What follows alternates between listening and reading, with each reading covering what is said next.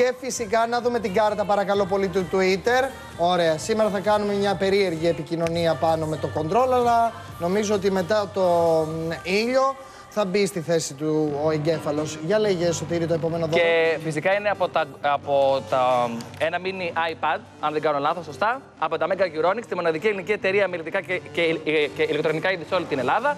800 ευρώ με 3G κυρίες και κύριοι, το οποίο σας πηγαίνει παντού. Μπαίνει παντού στο Facebook, στο Instagram και όπου αλλού θέλετε, μόνο με ένα φοβερό mini iPad από τα Mega Euronics.